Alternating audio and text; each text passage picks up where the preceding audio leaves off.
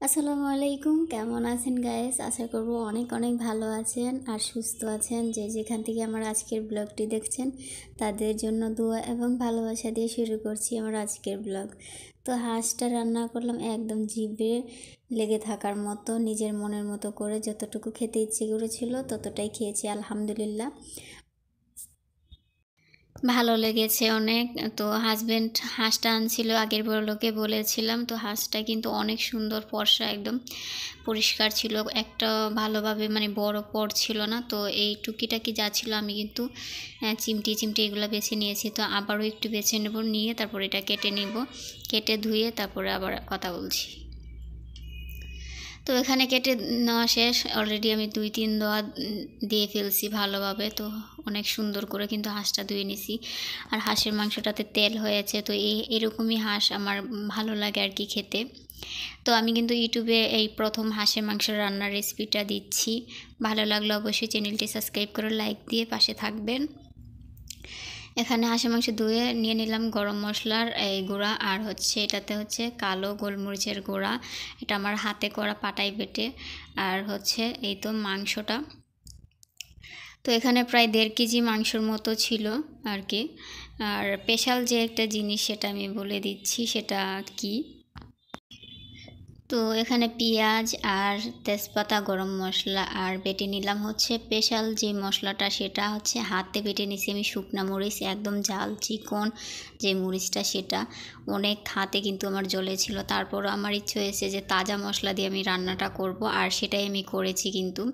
তেল নিয়ে নিলাম, এখানে ধনিয়া গুঁড়া। তো আপনারা চাইলে ধনিয়া যে আস্তটা সেটা বেটে দিলে ভালো হয় আরও বেশি আর কি।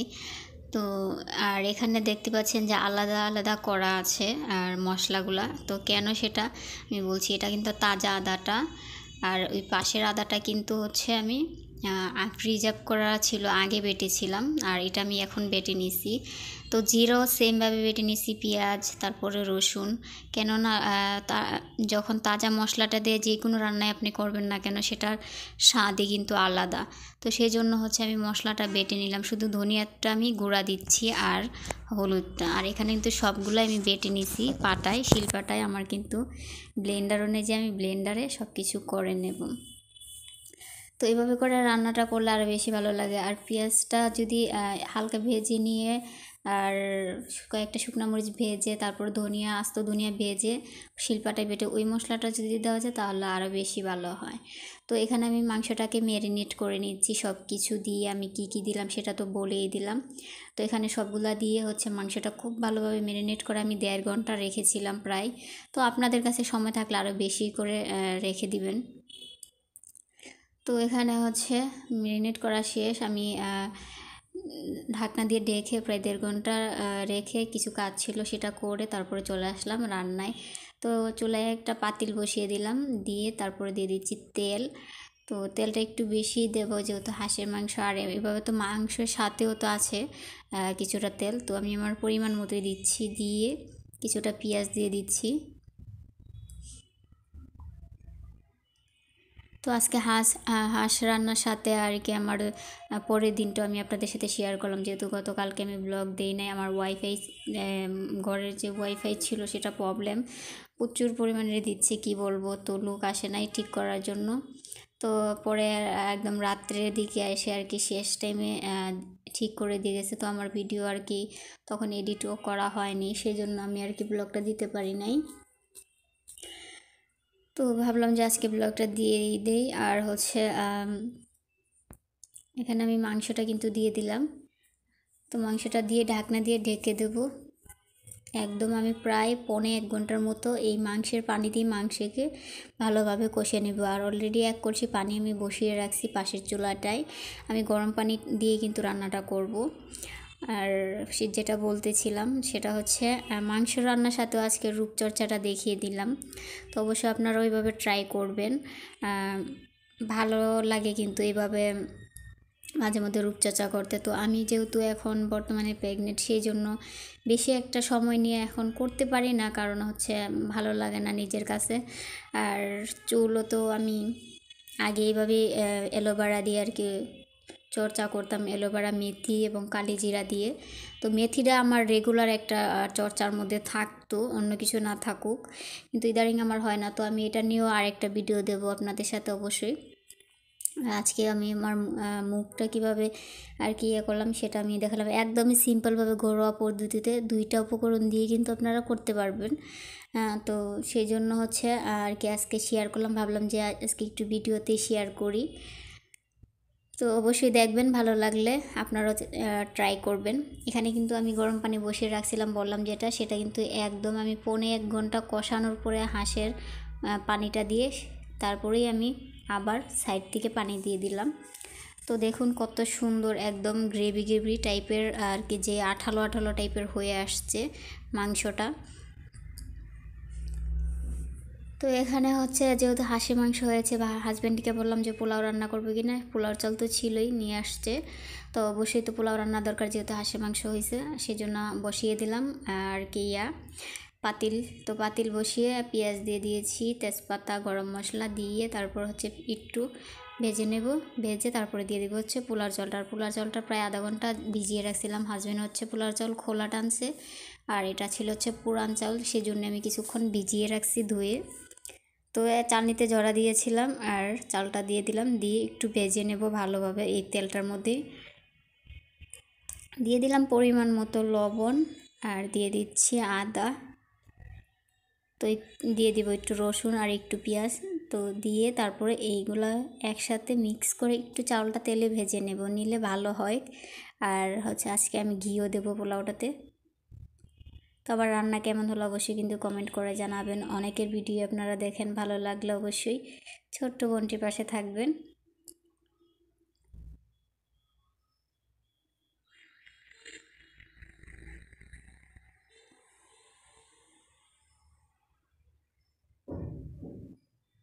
তো চাউলটা ভালোভাবে ভেজে আমি কিন্তু এখানে গরম পানি দিয়ে দিছি।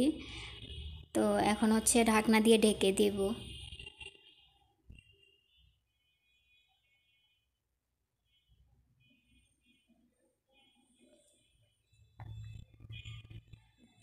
তো ঢাকনা দিয়ে ঢেকে দেওয়ার পর মনে হলো যে একটু দুধ দিলে ভালো হয়, কালারটাও একদম সাদা সাদা হবে, সুন্দর লাগবে দেখতে আর খেতেও ভালো লাগবে। তো সেই জন্য আমি হচ্ছে দুধ আর কি বের করেছিলাম আমার খাওয়ার জন্য, সেখান থেকে আমি কিছুটা দুধ দিয়ে দিলাম আর কাঁচামরিচও দিয়ে দিয়েছিলাম। তো এখন দিয়ে দিব হচ্ছে ঘি। আর আমি হচ্ছে দুধ নিয়েছি এখানে মনে হয় এটা আড়ঙের ঘি ছিল সরি দুধ না সেই দুধটাই নিয়েছি।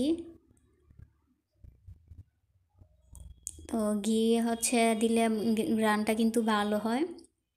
আর দুধটাও দিয়েছি সেই জন্যই। তো দুইটা মিলে সুন্দর একটা ফ্লেভার হয়েছিল। তো অবশ্যই আমার বলাতে ভুল ত্রুটি হলে কোনো দিকে অবশ্যই ক্ষমার দৃষ্টিতে দেখবেন। আর কেমন হলো অবশ্যই কমেন্ট করে জানাবেন।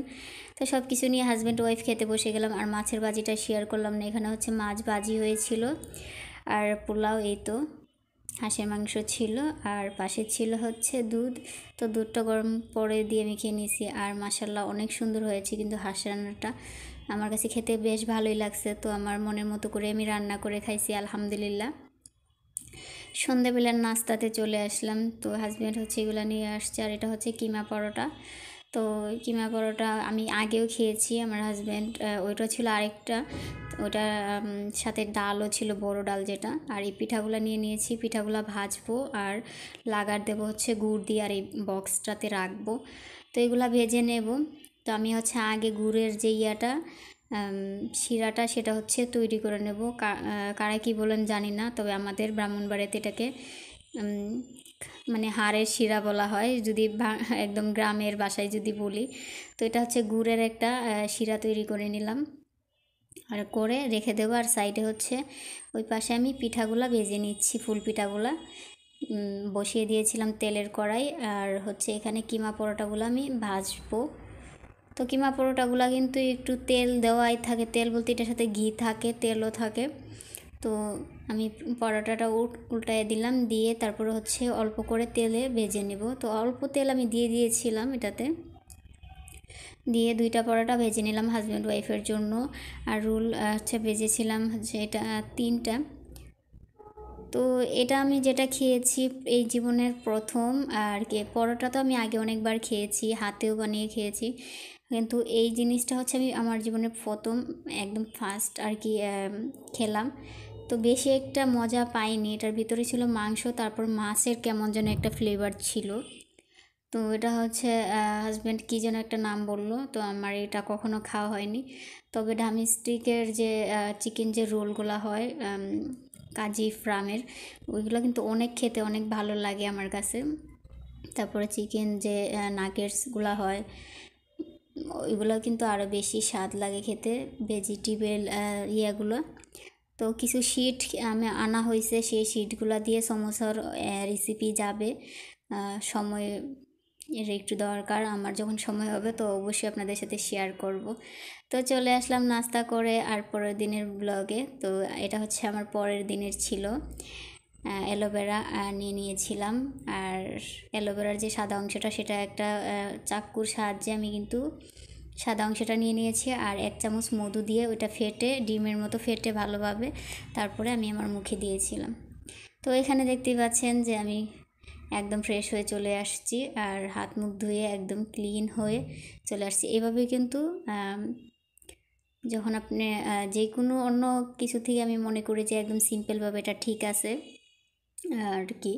তো ঘরোয়া পদ্ধতিতে রূপচর্চা করলে আমি মনে করি ভালো এই ফ্রেশ ওয়াশ আবিঝাবিগুলা ইউজ না করে। আর সত্যি কথা বলতে আমি আগেও বলেছি, আমি কখনো ভালোভাবে কোনো কিছু আমার ইউজ করা হয় না। আমি, আমার মুখ কিন্তু এভাবেতেই কোনো দাগ নেই বা কোনো কিছু বরুণ এসবের কখনোই আমার কোনো সমস্যায় ভুগতে হয়নি। আলহামদুলিল্লাহ। তো ভালো আছি। তারপর আমি আপনাদেরকে দেখিয়ে দিলাম। আমি মাঝে সাঝে যখন কিছু করি তো করতাম আগে সেটা আর কি শেয়ার করে দিলাম। তো, আগে আরেকটাও দিতাম সেটা হচ্ছে কলা আর ডিম আর হচ্ছে চালের গুঁড়ি যে একটা ইয়ে ছিল সেটা। তো, কাজবাজ হচ্ছে, যা ছিল সেটা গুছিয়ে আর কি, তো রূপচর্চা আমি করেছিলাম। তো সেটা আপনাদের সাথে শেয়ার করলাম। বিছানা গোছানো হয়ে গেছে, ঘর পুরা পরিষ্কার করা ফেলছি। আর কি, আর হাড়ি পাতিল ছিল কিছু, ওগুলো ধুয়ে রাখছি। তো মাসাল্লাহ অনেক সুন্দর দেখাচ্ছে আমাদের ঘরটা কিন্তু। তো সবাই দোয়া করবেন আমাদের জন্য এই ছোট্ট সংসারটা যেন একদিন অনেক বড় হয়। আর আমার অনাগত সন্তান নিয়ে যেন আমি ভালো থাকি। সামনে আমার অনাগত সন্তানকে আল্লাহ অশেষ রহমতে দেখতে পাবেন আপনারা। তো আজকের মতো বিদায় নিচ্ছি। আসসালামু আলাইকুম। এই তো চলে আসলাম রূপচর্চা করে, আর হচ্ছে আজকে কোনো কাজ ছিল না। যা ছিল ততটুকু দেখাই দিলাম গড়টা পরিষ্কার করলাম, আর হচ্ছে কিছু থালাবাটি ছিল খাওয়া দাওয়া করার পর, আর কালকে রাত্রি রান্না হয়েছিল। তো রান্না হয়েছে হচ্ছে গুঁড়া মাছের তরকারি, আম্মু নদীর মাছ দিয়েছিল, সেটা রান্না করে খেয়েছিলাম, ধনে পাতা দিয়ে ঝোল করে। তো অনেক ভালো লাগছে খেতে, আর হচ্ছে এতটুকুই ছিল আর কি। তো আমার তো অনেক ফ্রেশ ফ্রেশ লাগছে আজকে। আর অনেক দিন ধরে আমি চুলেরও যত্ন নেই না, কারণ চুল আমি কেটে ফেলছি। আর হচ্ছে, কেন কেটে ফেলছি সেটা হচ্ছে পরে বলব। আমার বেবি হওয়ার পরে আর কি বলব। মেবি আরও এক মাস বাকি আছে। তো তখন আর কি বলব আপনাদেরকে কেন কাটলাম চুল। যদি আমার চুল কাটার ইচ্ছা ছিল না। আর কাজ এই তো হাজব্যান্ড তো অফিসে চলে গেছে, তো আজকে আবার রাত্রে রান্না হবে। কালকে রাত্রে যেহেতু রান্না করছি। আর দুজন মানুষের রান্না বান্না বেশি একটা থাকে না, যেহেতু আমাদের ফ্যামিলিটা বড় না। তো আশা করব যে যেখান থেকে আমার ব্লগটা দেখছেন সবাই ভালো আছেন, সুস্থ আছেন। আর ভালো লাগলে একটি লাইক দিয়ে চ্যানেলটি সাবস্ক্রাইব করে ছোট্ট বোনটির পাশে থাকবেন। তো আজকের মতো ব্লগটি এখানে শেষ করছি। আল্লাহ হাফেজ।